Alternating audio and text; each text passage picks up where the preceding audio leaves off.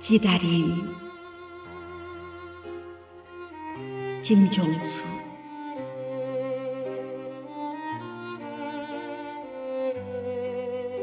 뻐꾸기 노래하고 나무들이 춤을 추는 멋진 잔치에 초대받은 날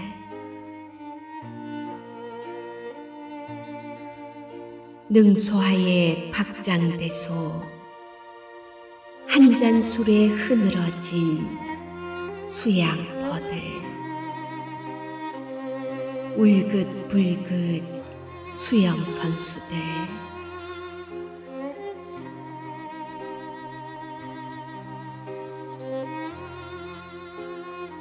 덩그러니 비어 있는 벤치 바람은 그 맘을 눈치챘을까?